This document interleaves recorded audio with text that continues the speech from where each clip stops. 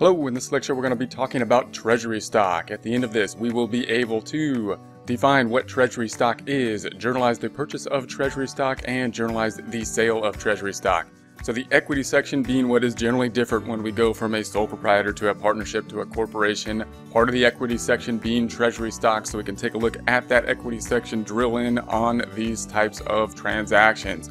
We're going to start off with our trial balance so we can see the big picture as we go through our transactions related to the equity section related to treasury stocks. We've got our assets here. Debits has no brackets around it, so we're representing uh, debits by positive or non-bracketed numbers. We have the liabilities with accounts payable and common dividends payable, and then we've got the equity section. This is, of course, where we will be focusing in on the major pieces of the equity section for a corporation being the common stock traditionally and the retained earnings. Now, there's a couple other accounts related to them, of course, common stock being what was issued in terms of stock, kind of like an investment. But if it's issued at a par value, then we're going to say it's at the stated rate, the stated par value. And that's kind of like a made up number. We only do that just to make all the common stocks basically the same. So that if we looked at the financial statement and we saw 500,000 and it was $10 par value, we can then divide those two out and say, well, there must be 50,000 shares out there. It's kind of like poker chips. If we went to a casino, we want them all to be same, the same.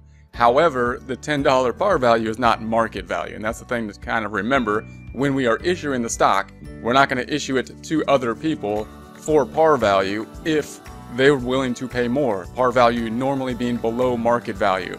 Therefore, anything that's paid to us above the par value, then we will accept that. And when we record that journal entry, for example, when this was recorded, if we recorded it all at one transaction, if we sold all the stock at one time, then we would have got uh, 560,000 and we would debit cash by that 560 and then we would credit common stock for the par value of 500,000 because we sold 50,000 shares at $10 par even though we got 560 and the difference would go to the paid in capital. So that's what this paid in capital is. These two numbers here represent basically the investment and then the retained earnings then traditionally is the amount of income that has been retained over the years. So if we looked at a sole proprietor, we'd have one capital account. That capital account would be the net investments and it would include basically the retained earnings. Note that when we look at a corporation, we're basically just breaking those two things out. We're saying, hey, this is the investment that's different than the retained earnings, the amount of money that we have earned throughout the time period. Why is that important? One reason it's important is that when we distribute the retained earnings, if it's we're a C corporation, we need to determine whether it was earnings that were received that are going to be received by the, the, the, shareholders or if it was a return on capital. One reason is because there's tax differences. So we basically need to break those two things out. If it's uh, a dividend, then they're going to be taxed on it.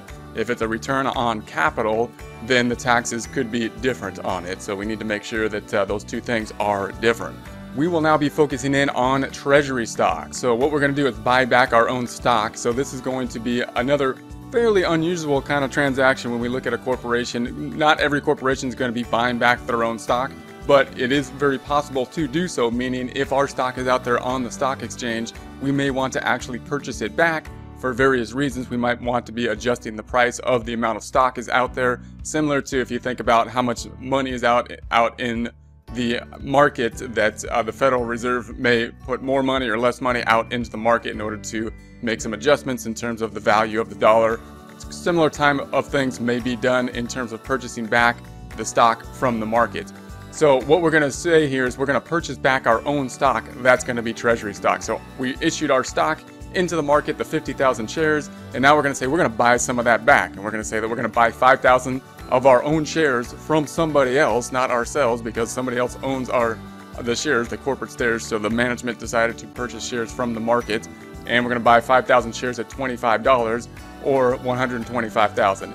So the question is, of course, how do we record this? If we were to buy someone else's shares, we were buying shares in Apple, then of course we would just credit the 125,000 cash that we would pay, and we would debit investment, some type of investment account, an asset account in Apple. Now, the, the cash is still the same here. We still paid 125,000. So we know that is cash affected? Yeah, cash is a debit balance. We're going to make it go down by doing the opposite thing to it. We're going to credit cash. I would always think about cash first and say cash is going to be credited. So we know that we're going to have a credit to cash.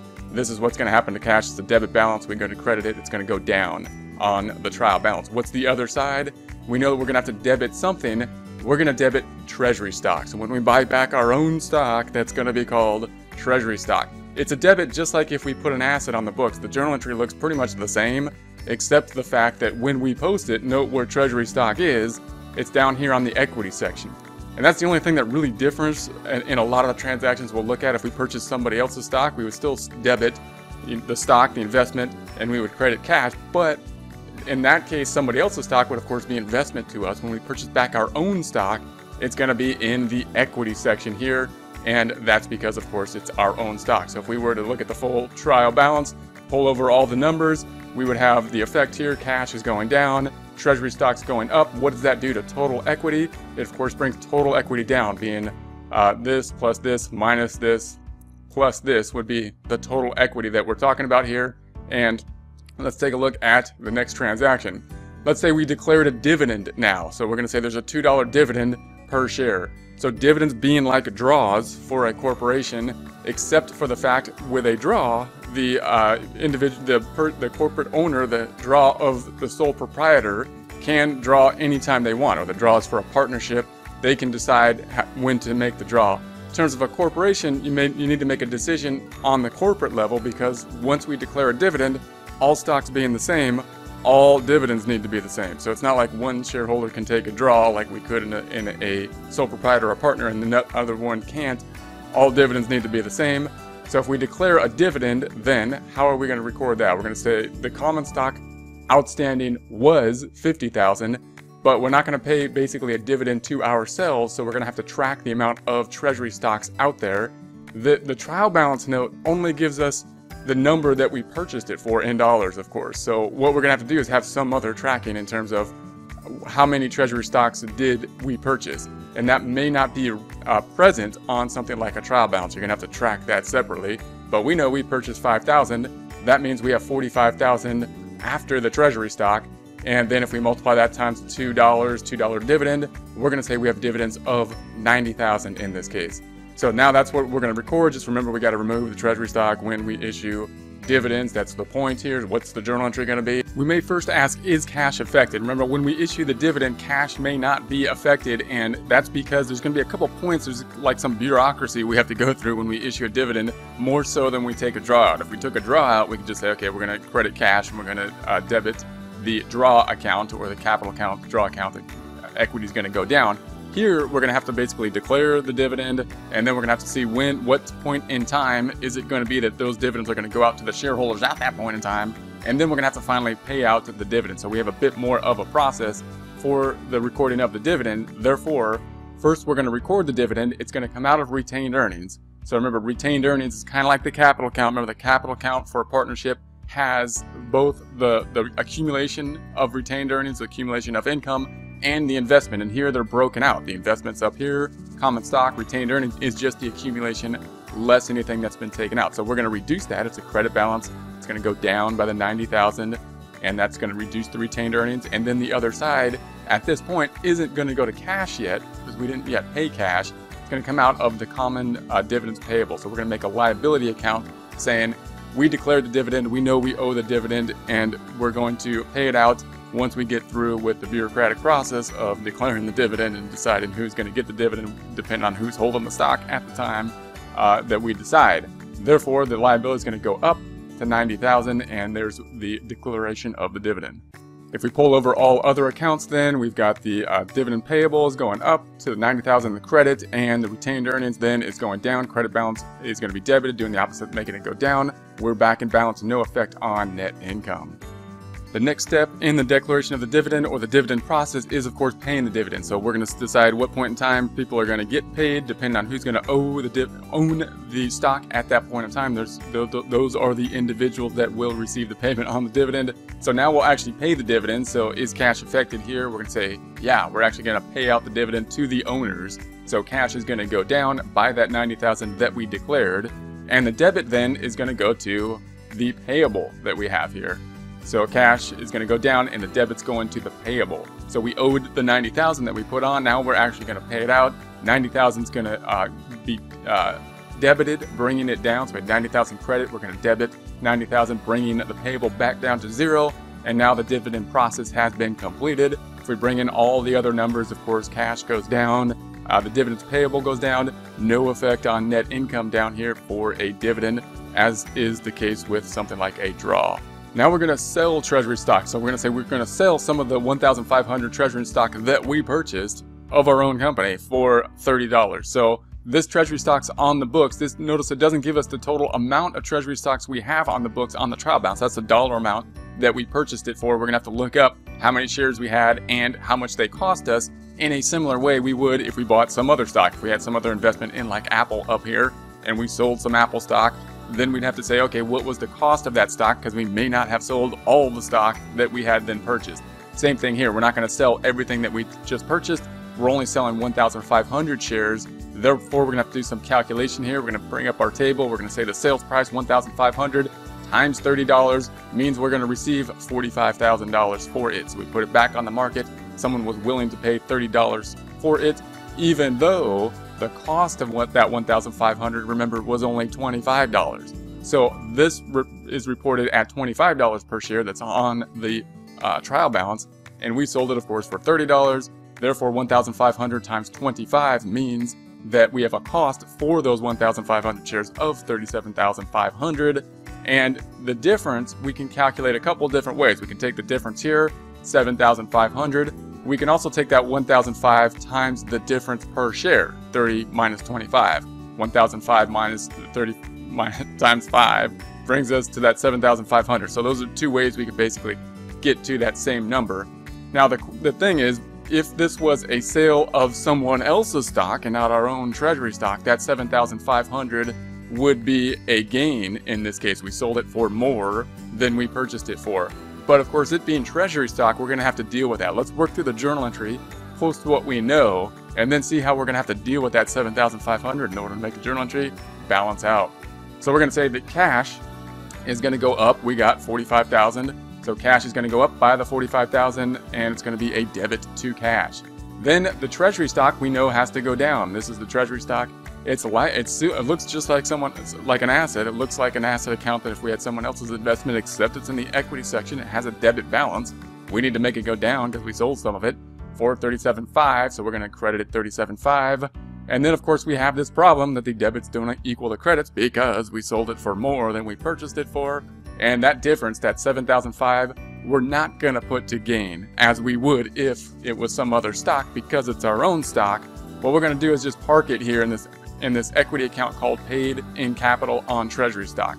So paid in capital on treasury stock is going to uh, go up in this case in the credit direction. It's going to increase the equity account. So that's going to be kind of the tricky thing with treasury stock. Everything else is basically the same as if we bought someone else's stock, except the treasury stock is in the equity section.